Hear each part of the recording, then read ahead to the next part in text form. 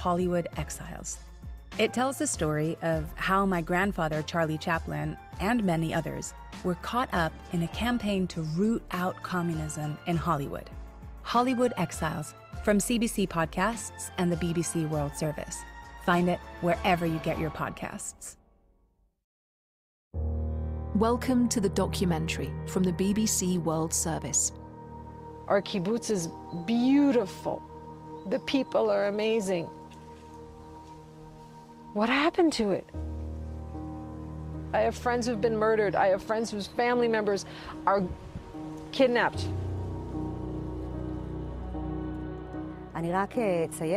And my children are screaming, don't take them, don't take them, don't kill our dad. They are telling them he'll be back. We don't kill, we don't kill, he'll be back. And they drive away. The only thing that we heard uh, was that he's alive, but that was long time ago. No other news, unfortunately. Saturday, October the 7th, 2023. The day starts peacefully, normally, but as dawn breaks, a massacre unfolds. First, the Palestinian militant group Hamas fires thousands of rockets into the communities of southern Israel.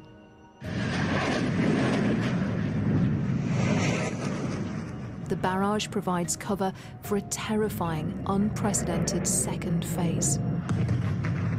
Thousands of members of the group, which is designated a terrorist organization by the UK, US, and other countries, break through the perimeter fence and into Israeli territory. They film as bulldozers tear away the metal barrier and crowds stream through it. Some are on motorbikes, many more are on foot, and they begin to run. Just a few miles away, hundreds of people have gathered at a music festival. As the rockets fly overhead, Palestinian gunmen attack the party from several directions. It was one of the worst days in Israel's history. Its people killed in cold blood, hundreds of hostages dragged away, a nation traumatized. Those who survived who lost loved ones on October the 7th or have family members still held hostage in Gaza want to tell their story. I'm Anna Foster, and this is an account of what happened on that day. All of the stories you're about to hear are graphic and distressing. We drove, we tried to pass people around because everyone was scattered around and we also tried to help out people uh, to take them with us. We already uploaded most of our equipment, so we didn't have much room, but we tried to save people along the way. Describe that moment to me. They were fleeing for their lives. They were trying to find a way to get out of there as fast as they could with minimum damage. At 6:30 in the morning, Gilad Karplus was at the Nova Music Festival when red alert sirens began to sound in southern Israel. It's a familiar noise, and it means that rockets are being fired from Gaza. Israelis living in those border communities know the drill well, but this time something was different. I didn't see, I heard. It was 6:30 in the morning.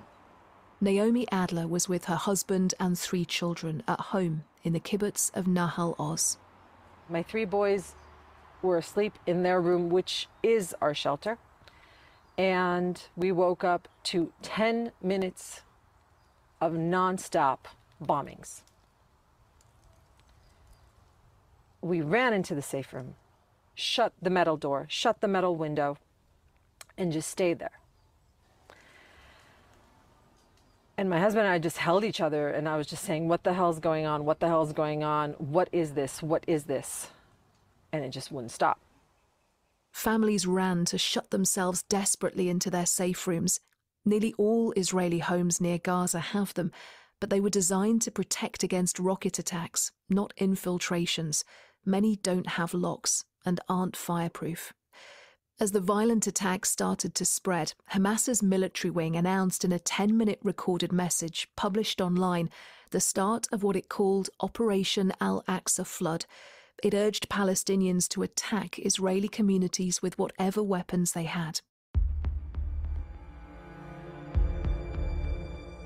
In Nahal Oz, the Idan family took shelter inside their safe room, but it didn't protect them from what was to be a horrifying ordeal. אני רק אציין שב-7 באוקטובר מעיין נרצחה. On the 7th of October, Mayan was murdered. Mayan is no longer with us. So we are now only five members in the family because Tzachi is also right now a hostage in Gaza. But this is the family, and Mayan will remain a member of our family, only that she will remain always 18 years old. זה, זה המצב. At the Nova Music Festival, Hamas attackers had begun to shoot and kill. Some flew from Gaza on motorized paragliders. More than 260 partygoers were murdered at the site. I spoke to Gilad, unplanned, just two days later, on the 9th of October. we saw him in the street with a white bandage around his head and asked if he'd been attacked. Gilad and I sat down, and he remembered his dramatic escape. It was one of the first detailed accounts of what happened at the Nova Festival. We got into a uh, collision course with the eight terrorists. They wore a half military uh, uniform, Israeli uniform. They wore uh, shirts, Israeli military shirts. And they were uh, ridden on motorcycles and guns. We hit two of them with our car, and they, they started chasing us, and they shot a bullet on the side. And from the shrapnel of that bullet, it hit my head in the back. I started bleeding. I don't know what was the situation there, if I had a bullet in my skull or not. I didn't know anything. I just only knew I need to hold my head as tightly as I can so I won't bleed out. And I also had to stay awake because I couldn't go to sleep. I knew that if I was going to sleep, I think it would be over. Later on, we got into a kibbutz called Be'eri. At first, we honked our horn because we thought maybe there was a security guard that can give us any information or anything like that. And fastly, we knew that there was nothing there. We found a uh, shower bathroom unit. We broke in. We had to break the glass and get inside and hide. And because all the the floor was with glass, we had to stay super quiet because we knew that they can know where we were. By now, Israelis were waking to live news reports beginning to detail the destruction. A lot still wasn't known. Those who had loved ones in the south began frantically searching for information.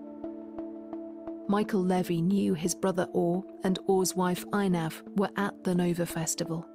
I woke up at 6:34 a.m. I still remember the exact time. I woke up to the noise of sirens. I immediately turned on the TV and to try and understand what's going on, and I saw it's all over the place. I called my mother because I saw there are sirens uh, where they live as well, so I wanted to check on them. Uh, she said that they are okay, but that Owen and Einav went to the Nova Festival uh, in Reim, and that they all texted her that they are heading back. They got there at 6:20 a.m. About 10 minutes before hell started. A Few minutes after, he texted her again, saying that they are hiding in a bomb shelter next to the road. The day after we saw it uh, on one of the newspapers. One of the doors was still open. So they ran from their car into the bomb shelter to hide. Uh, from inside all called my mother terrified.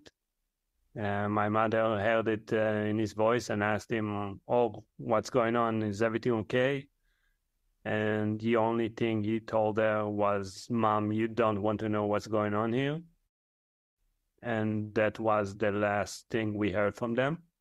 That was 7:39 a.m.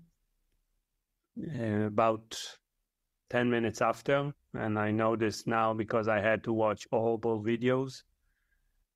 A group of terrorists arrived to this bomb shelter and started throwing grenades into it and shooting into it.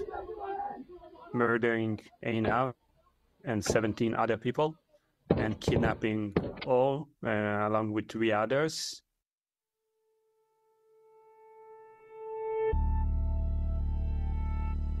Our kibbutz is beautiful. The people are amazing. What happened to it? I had no idea that it happened elsewhere. I had no idea about the about Kfar Aza Re'im and the party and Be'eri. I have friends in all of those places. I have friends who've been murdered. I have friends whose family members are kidnapped. Hours after the attacks were launched, the Israel Defense Forces finally started to regain some control. It was a long and bloody process. In Nahal Oz, Gali Idan and her family were trying to survive inside their safe room. As she comforted her distraught younger children, her husband Tzachi and their eldest daughter, 18 year old Mayan, knew that danger was getting closer. The door is already closed. Tzachi is holding the door handle and we hear steps uh, inside the house on the glasses that were shattered, and we understand that they are coming towards us. And then we heard in Hebrew, open the door, open the door, and then I heard somebody with an accent saying, we are not shooting, we don't shoot, we don't shoot.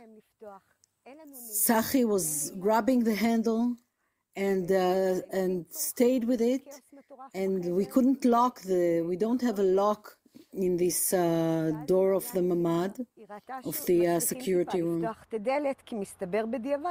So Tzachi was holding the handle very strongly, and the children are screaming, and there is chaos in the room, and we don't have light inside the uh, security room.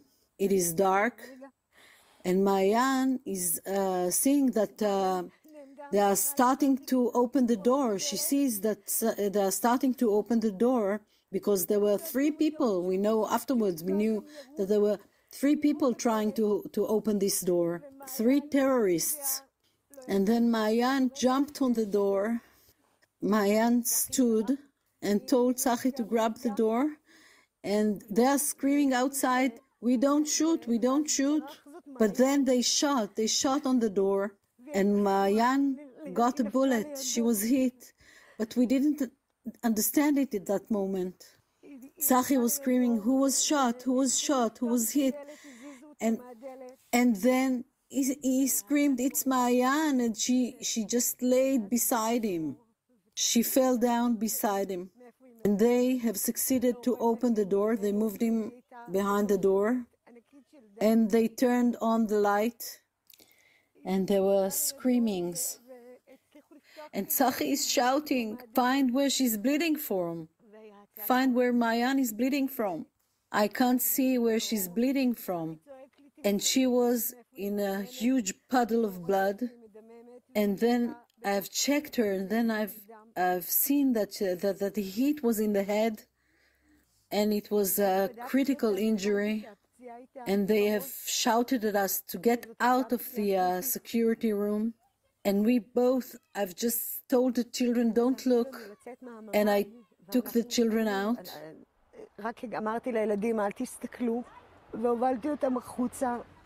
The Hamas gunmen held them captive meters away from Mayan's body. Then the attackers started to live stream the family's ordeal on Gali's own Facebook account.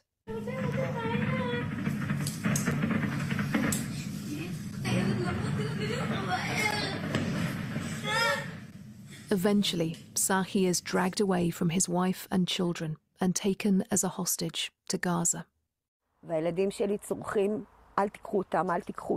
And my children are screaming, Don't take them, don't take them, don't kill our dad. And they are saying, Don't worry, he'll be back. He'll be back. They are telling them, He'll be back.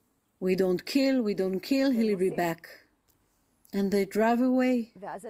And then we are left there. We still hear missiles, we hear shooting all around us, and we don't move because they told that, us that if we move, we will die.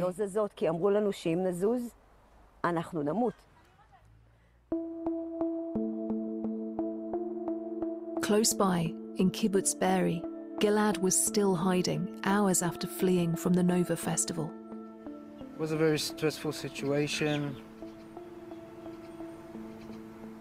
The police also came with a dead body from the party, and we had to evacuate it also. He was half dead, half alive, but when we got to the extraction point, he was already uh, deceased. And then after that, they took me to the hospital with a different ambulance. And all the way, you can see all the carnage, all the, the death, all the smoke. 18 hours after we went in, IDF Army got us out. After fearing they would be murdered, Naomi, her husband, and children finally emerged from their safe room in Nahal Oz. We had exactly two, three minutes to pack whatever we could think of at that moment. We remembered to bring my ID, but we didn't remember to bring shoes for our kids. But I said, don't worry about it. It's fine. We'll be fine. But we're getting out. I saw fires everywhere. It was one o'clock in the morning. It was very, it was a scene from a movie. My car and my husband's car and our neighbor's two cars were burnt all the way down to the sheer, only the frame was left. It was a full on war zone. Michael was trying to piece together information about the fate of his brother Or and sister in law Einav. He learned that she was killed and he had been kidnapped. I started obsessively calling uh, all the hospitals and asking if they saw someone who matches their description. There were also a lot of lists of people that survived the, attack from the Nova Festival. So I started gathering those and looking for them. And I started calling friends, uh, calling family that might have heard something. But unfortunately, I couldn't. I couldn't find them. With the help of, of good friends, we started to gather any piece of information about this bomb shelter. At first, we wanted to understand where it was because there are quite a few. So uh, I got a video of them inside. Then I saw a painting of the outside wall of the bomb shelter, and we contacted the person who painted it to make sure there is only one painting like this in the same area. And then I spoke to survivors from this shelter. It took us few days to pick up all the pieces and, and understand what happened. Then, after four days, they told us about Einav. And after eight days, they told us, Paul was kidnapped. On the 8th of October, the Israeli Security Cabinet retrospectively declared that a state of war had officially begun on the morning of the 7th. The scale of what had happened was becoming clear. Buses took us to a nearby army base, about 20 minutes away. I saw fires, I saw dead bodies. Naomi told me about the relief of being reunited with her community, but then the trauma of discovering who was missing. When we got to the army base and I was finally able to see my neighbors and my friends, I saw one neighbor who was just there crying, and she said, They shot my daughter. My daughter's dead. She's 18. She was 18. They shot her in the head, and they kidnapped her father. And everyone there in that army base at three o'clock in the morning is reunited and, and, and looking around and saying, Who's here? Who's not? What happened?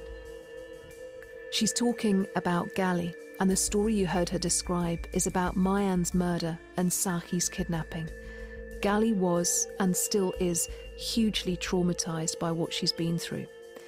When we sat and talked, she told me gently that she was having that conversation, recalling the worst moments of her life in stark detail for Tzachi because she wanted to do anything that might free him.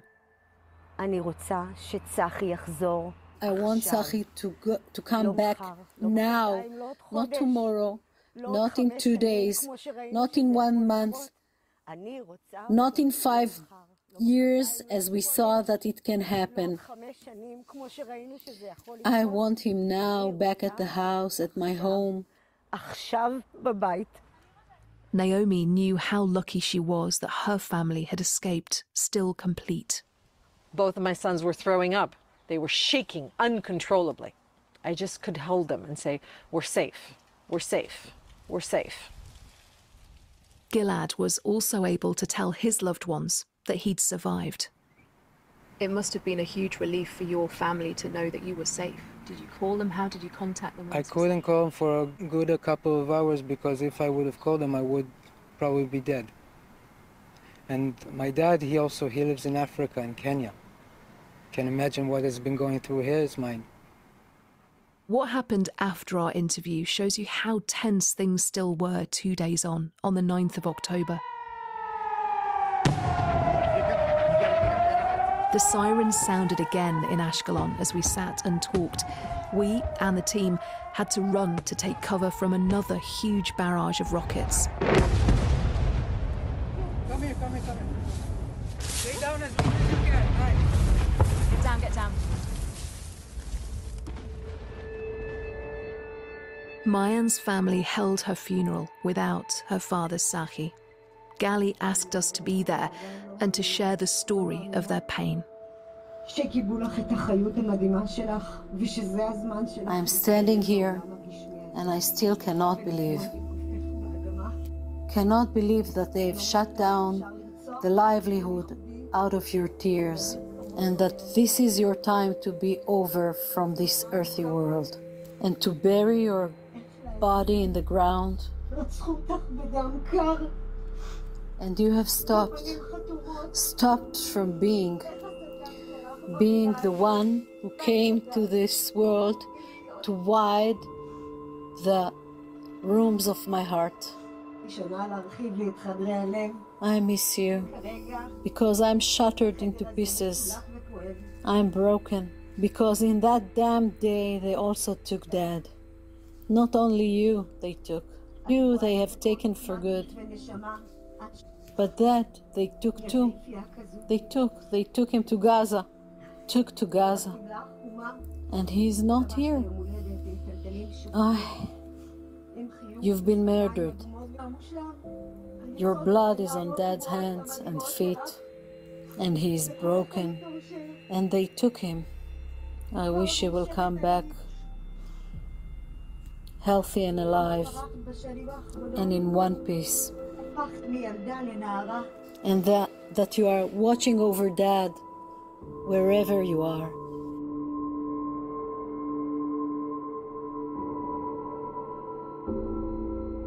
I left everything behind on October 7th my job, my day to day routine, uh, even my time with my family. I have one mission in life now, and it's to bring all and the rest of the hostages back. Michael is still doing everything he can to get his brother released.